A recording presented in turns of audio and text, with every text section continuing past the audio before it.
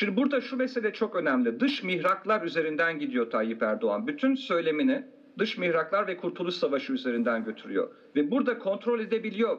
Bir bakıma kamuoyunu kontrol edebiliyor. Çünkü kamuoyu Türkiye'de maalesef eğitim sisteminin bence buna yatkın olması nedeniyle dış mihrak aramaya çok yatkın bir kamuoyu.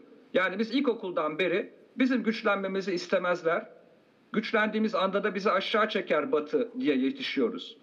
Dolayısıyla buna solcusu da, sağcısı da, ulusalcısı da hepsi inanıyor. Dolayısıyla çok kolay buna inanan bir kamuoyu var. Ve bunu Tayyip Erdoğan ekonomiye de yansıtarak şu anda kontrol edemediği bir şey varsa Türkiye'de ekonomi, yani Türkiye çünkü küresel şartlarla bütünleşmiş bir ülke. En büyük şansı da bu. Yani iyi kötü işleyen Türkiye'de bir kapitalizm var. Türkiye'nin petrolü yok, doğal kaynakları yok. İhracat yapmak zorunda, belirli bir üretkenlik içinde gitmek zorunda ve dolayısıyla bu kur meselesi Tayyip Erdoğan'ın tam olarak kontrol edemediği belki de tek mesele Türkiye'de. Doları kontrol edemiyor. Doları kontrol edemeyince de bana göre bu tür bir yarı cinnet hali geçiriyor. Yani bunu da işte bu terörizmdir diyor. Bunu da yapanlar dışarıdaki güçlerdir diyor. Ve akla normalde çok ters gelecek bir şey söylüyor.